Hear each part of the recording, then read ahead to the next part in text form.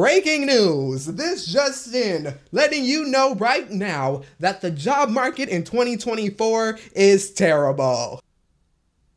Yeah, I was laid off twice in the past two years, which means that I have been job hunting for the past two years.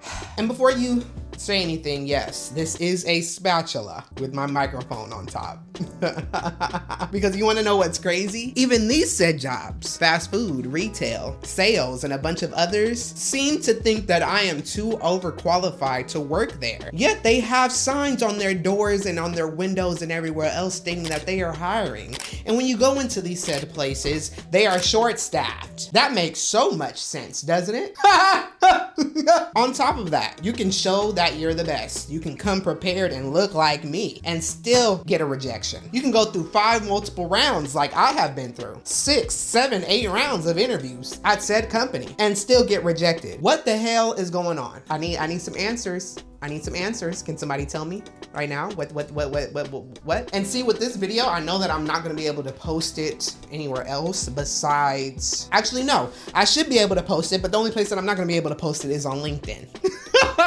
because everyone is crazy on there. Can we can we be honest? Can we be truthful? I am so glad to have the community that I do and be connected with genuine, actual, understanding people that don't leave room for bias and nastiness in their hearts and say all types of crazy things and blame you for everything that you go through. And it's not like I can't hold myself accountable. There's plenty of other people that don't, but it's not like I can't hold myself accountable, right? Because I know when I make my mistakes. I know when I flunder during interviews. I know when there's times where I need to be better at prepping and so much more. But after all this time, I for damn well sure that it is not my fault. I've had multiple offers rescinded. I've had people cuss me out. I've had scammers. Don't get me started about the scammers, all right? But we're gonna try and do this a little bit in order. If you see me constantly looking over here to the right is because I have a list of so many different things to discuss about this so-called said job market that we are in, that we have been in, and how things have been just terrible over the past couple of years and that there is nobody that's really talking about it, okay? And again, these are from my specific experiences. I understand that you might have something different that has happened to you. That is perfectly fine. You have your own experiences, I have mine. Do not judge me for what I have been through. I'm being open and sharing this. And I would hope that those that don't understand how terrible, terrible, terrible the market is right now, that this video will help you. Okay, let's get started.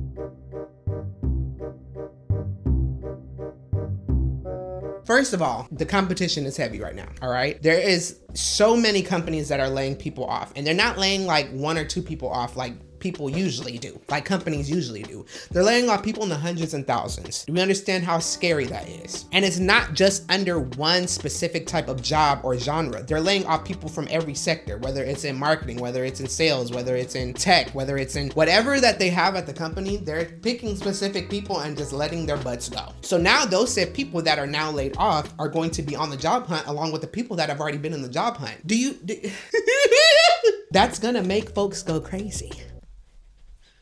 Do you understand? Because now the competition is heavy. Everyone and their mama is about to be fighting for, for, for, for, for one role, for just one role. And then most of these companies only have a few roles that are open. How do y'all even make those decisions? Because they say that it's not the type of thing where people choose like maybe somebody that's doing less work or, you know, there's chances that they don't really, how do you guys choose that? And how are so many people not having hearts towards that? How are you guys not having plans and, and things to help those people that you do lay off? It's not like you got fired by not doing your work. There's people that have been at companies that are getting laid off that have been there for 10 plus years. How do you give your heart and soul to somebody, to a company, just for them to just let you go like you a piece of trash? That's that's not that's not okay. And now we all fighting each other. We all fighting for the jobs now. A hundred something plus people applied for one role. A thousand something people. I'm seeing posts on LinkedIn where they're saying a thousand something people applied for one role. Huh?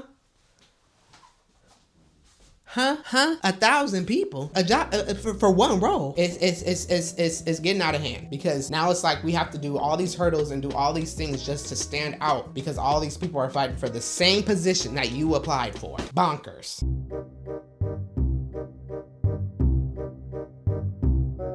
What the heck is an ATS? And why does everybody seem to have a different one or they don't understand how it works or they do know how it works, but then they say that it doesn't work that way and then they're trying to tell everybody that it works a certain way and then I need somebody to just get get. I need all these companies. I need y'all to use one type of ATS system, applicant tracking system, to put our resumes through and keep it keep it at that. Because I keep hearing that there's all these different ones. There's ones where you can use keywords. There's ones that you use AI, and that, that there's knockout questions. So like if you don't have a certain amount of keywords, they go knock you out. What's the truth? Because I, I, I, I, there's so many people that are saying one thing, and then there's other people saying another and it doesn't make any sense to me. So I need to know exactly what the truth is. Because is a human even seeing my application? Be, be honest, be real. Because some of y'all are saying that that that that ain't no human looking at my stuff. What what why is there no human? Why is there no human looking at my stuff? I don't I don't I don't appreciate that. Especially when I've, you know, tried to fill out every single don't get me started with workday. workday.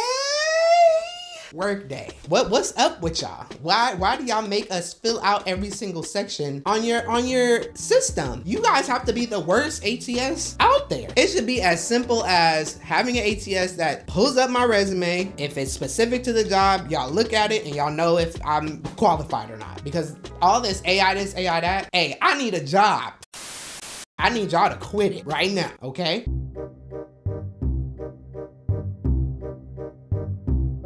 And then we got the unrealistic job requirements, right? So this is what we're gonna do. I have it pulled up right here. I blocked out some stuff because I don't know how y'all be acting. I'm not trying to get sued because I pull up a specific sort of company and I pull up the thing of the job application that I'm not trying to get in trouble. But we, we, I have some screenshots, okay? So I'm gonna read it off to you. Hopefully it'll be on the screen. We'll see what happens. But I'm gonna read this off to you, okay? So let me pull it up. So this right here that you're seeing is for a social media strategist role. Understand, I am, that's what I do. That is currently what I do. I went to school for digital filmmaking and marketing. I learned all about that okay? I went to junior college for communications and media studies. I have been doing social media for almost more than a decade, all right? Even within my own personal branding, more than a decade, okay? So this is what I do. I have a resume that shows it all. I have a portfolio that shows it all. Literally, I, I have stuff from just a single year that can show that I can do the freaking job, okay? That's what I want people to understand. But this is what this is what we're dealing with. I don't know about other sectors and and and different jobs and stuff like that, but the marketing field and the social field is bad right right now. Okay, this job is located in New York City. New York City, the Big Apple, New York City, one of the most expensive cities to live in. And they are offering 60,000 to 70,000 a year.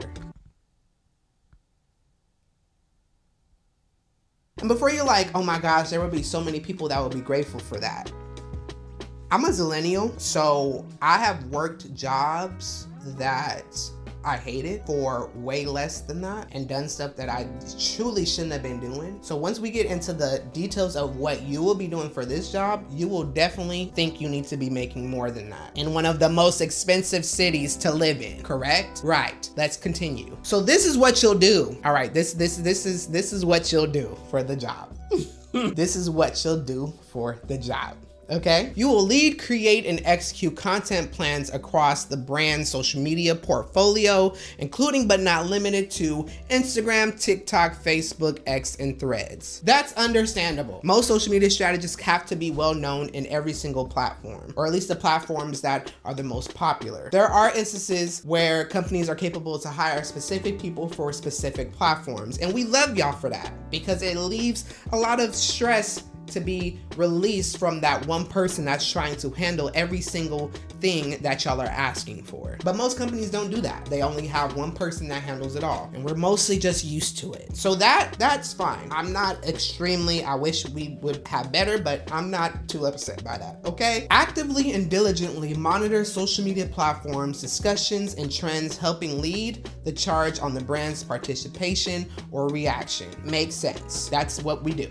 Manage creation and presentation of content with an appropriate copy and posting cadence. Again, understandable. I'm not tripping off of that. What we're about to see more is what I'm tripping off of. Demonstrate excellent copywriting and grammar skills, ensuring both factual accuracy and social relevancy across all platforms. Most social people are copywriters. I've had to learn that and, and, and, and take classes and get certificates just to be able to copyright and make sure that what I'm posting and saying is not crazy and that I'm I'm not copying it from somebody else. But there is, again, many times where you hire a copywriter for that. You hire somebody that the social media strategist will talk to and they will be like, okay, this looks all good, you're good to go. That's what teams and having so many people is for. Again, I guess it is what it is. Now, this is where you lose me. Manage and execute weekend content strategy, including coverage of the brand's matches as required.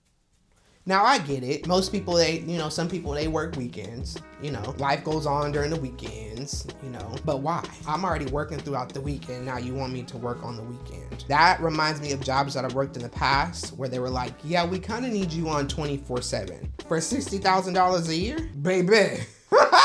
okay.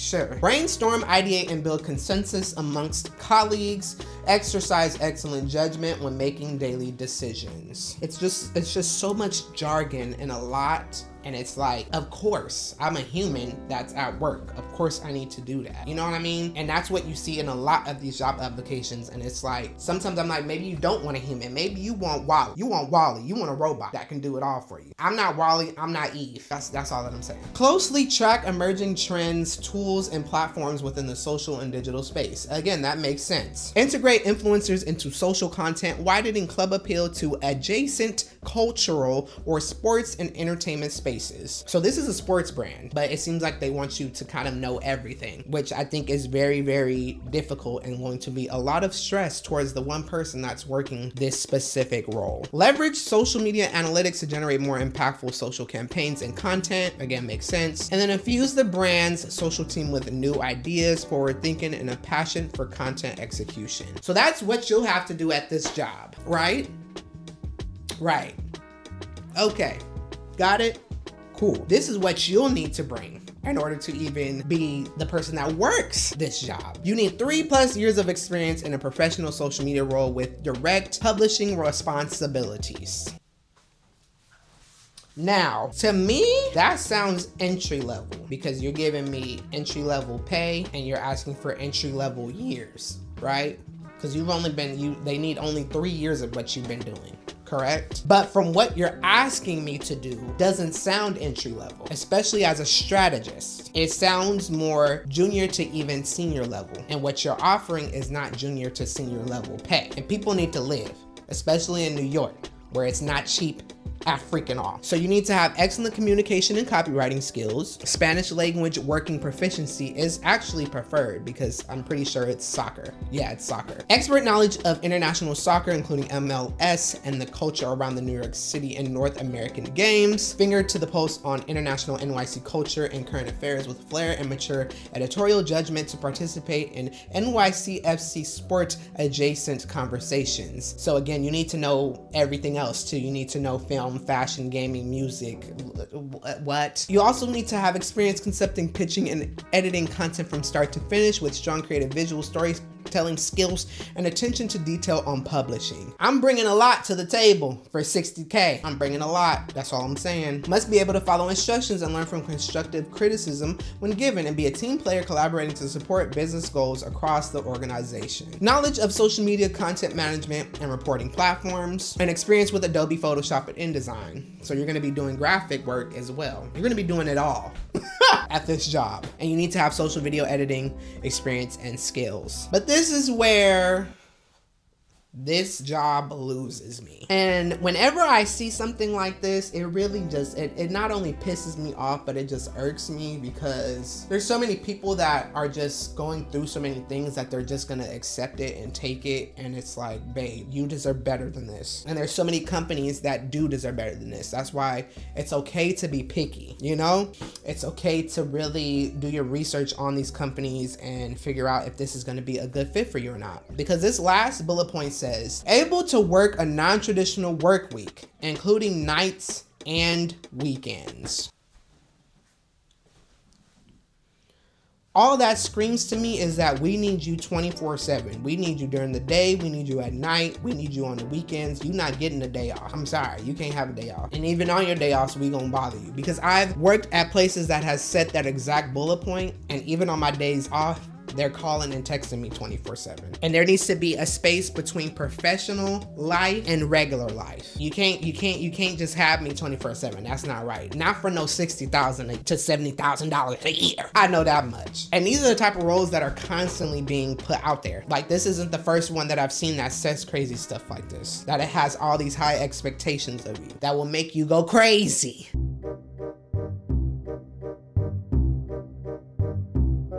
This next one is just mostly about the room for like bias because a lot of people are getting especially in this field that I'm currently in, into contract and gig work. And contracts are not long. Sometimes you'll have a month contract. Sometimes you'll have two, three, a year. It really doesn't matter, but you'll still be under that said company doing that hard work. And I have done so many contract roles for a plethora of different companies, companies that you know and use every day, but they have not hired me due to specific certain circumstances. And even at said places that I've worked before, I've done contract roles still working there because sometimes what I make at said company is just not enough for me to live, unfortunately. But now there's this space where people are so biased towards that that they find it as like a short stint and they think, oh, because this person wasn't there long, they're just gonna up and leave. I get it, it's an investment. You spend all this money on that said person to be at the company. But there is a bunch of different reasons as to why that person was there short, whether it's the culture, whether things have changed, whether they were laid off, so many things, okay? And sometimes it's just not your business. It, it really isn't your business. Why are you looking at that when you should be focusing on the work that I can actually do and the work that I've actually done, that's beyond. And I think that's really weird when recruiters and hiring managers and people that are part of the hiring team even think of things like that. It's just weird. It's weird to me. I, I just don't know because I've gained so many different networking and open opportunities because of contract work and because of gig work and because of freelancing. I don't know. That's just me. I don't know.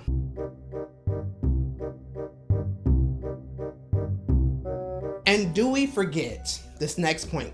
is going to be talking about this. It's a very sensitive subject. People are acting like for the past four years, COVID was never a thing. Like we weren't all just working from home. Like businesses and companies didn't have to shut down. Like, and because of that, some companies even closed in general and can never reopen back up again. And that maybe the short stints are because of that, especially if you're coming from the end of 2019 to now. I don't know what, I don't know what realm, what dimension some of these people are in to not understand that. Like we weren't just at home every day. Mm.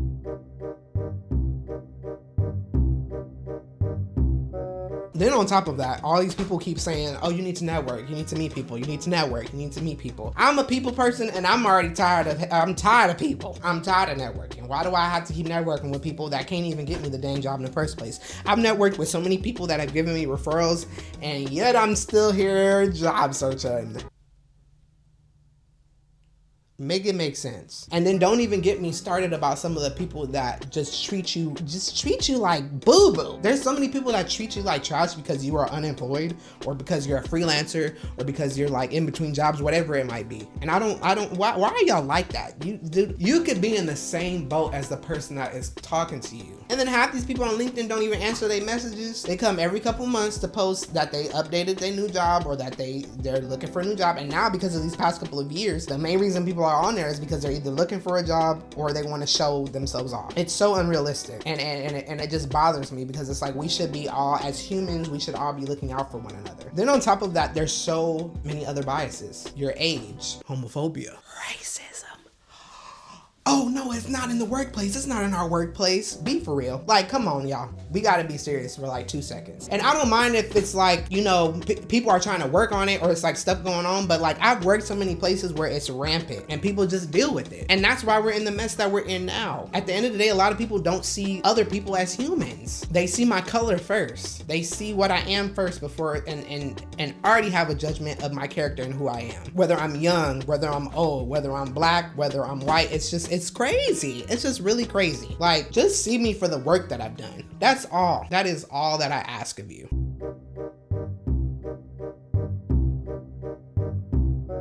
And do not get me on salary stagnation because just like I was talking about earlier, some of these roles, y'all be talking about they entry level, and there's not enough entry level roles out there for anybody really. And there's barely any junior or senior levels either. Some of these roles, it's like y'all are paying pennies on the dime and you think that's okay. And forcing people to do all this work, all this work for, for it's like cheap labor. How do you, how do you think that's, that's okay? That's, that's not okay. That's not.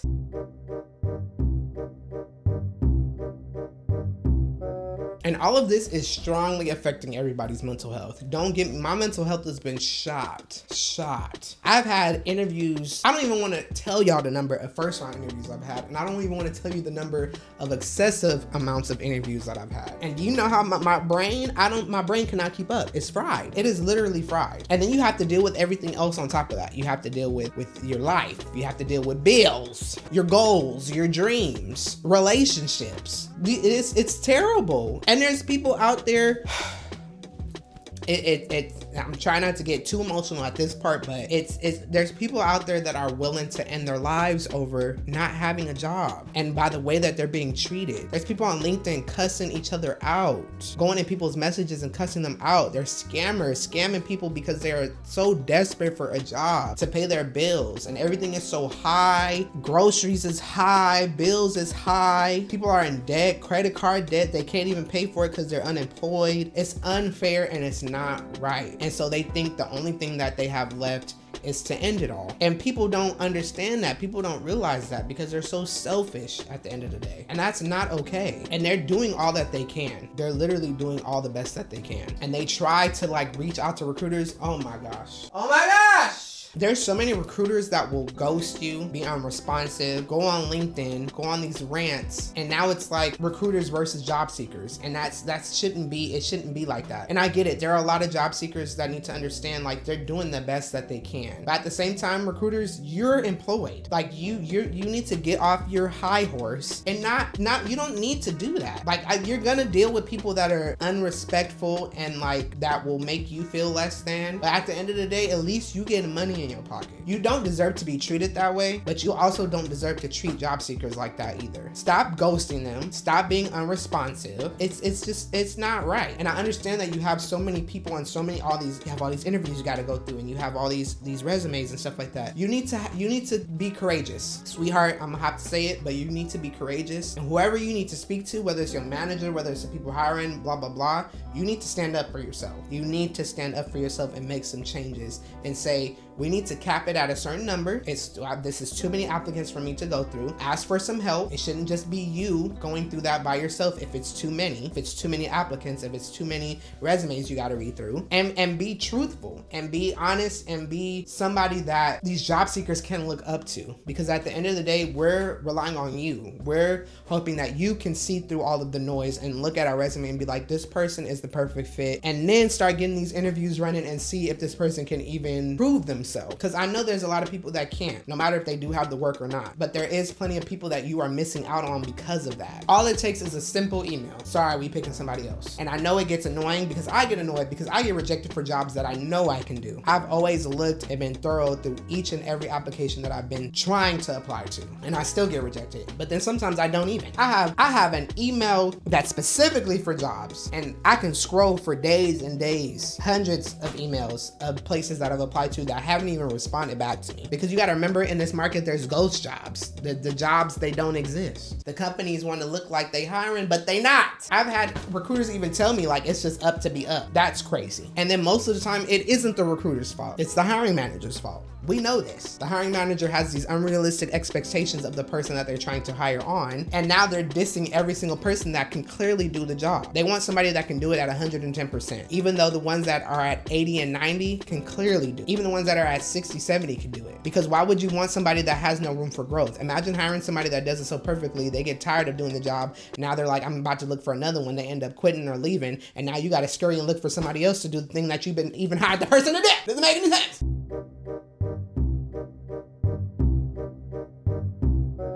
And then the hiring processes are too slow and too long. Why are you taking why are you taking six months to hire somebody? Why are you taking four months to hire somebody? I just saw somebody on LinkedIn say that it took them three months to get hired at their recent role. They had eight interviews with eight different people and an assignment. What? And this is what I want to share. Companies will do stuff like this. You fill everything out and now at the end of the application it says video submission. Please link to a one to five minute video explaining why you are the best candidate for this role. That's what the interview. I'm tired of these one-way video interviews, these ones where I gotta get all suited up and booted up and explain myself beforehand before I even, because you could just easily reject me. That's such a huge waste of time. You can easily reject me from whatever the video is. That rooms that leaves so much room for bias to, to include any type of video formatted thing because now you get to see my face and judge me beforehand before we even get a chance to talk to each other. And then you have stuff like this. This was on something that I was so excited to apply for because people kept hyping it up. And I'm pretty sure this is a well-known, I don't know if it's a well-known company, but I've seen other people share this specific like role and what they asked for just to apply. This is just to apply, right? And then this explains what their interview process is. So after you fill out the application, it says next steps. Here's what we expect the hiring process for this role to be. Should all go well with your candidacy. This entire process is expected to take 10 weeks to complete. 10 weeks to complete for one job. 10 weeks to complete. 10 weeks to complete. 10 weeks to complete. Some of that time is allotted to celebrate the holidays. I'll be and you'd be expected to start on a specific date. So even after that, even after the 10 weeks and everything goes smoothly, they still gonna be like, well, we actually have to choose the date that you start. this is what you got to do. So this is what happens. You get the application, fill out a form with the basic questions, right? And then you have a 20 minute introductory interview with an HR team member. Oh, so so what's next after that? Another 20 minute culture interview with an HR team member. Why could why why what what? Why couldn't that just be in one? The culture and introductory interview in one. That's usually how it goes, right? Anyways, so then you have 90 minute in person interviews with peers and manager. So you don't even know how many people you're gonna be talking to. They give they, they you have 90 minute in-person interviews. It's 90 minutes per person that you're talking to over 10 weeks. And and and and, and the ringer is you also have a final assignment and a presentation. And then you get an offer or not. So you're you're you're y'all are y'all are out of y'all rabbit minds. Y'all are out of y'all rabbit minds. That's what it is. And people are still gonna do all that and still apply to that.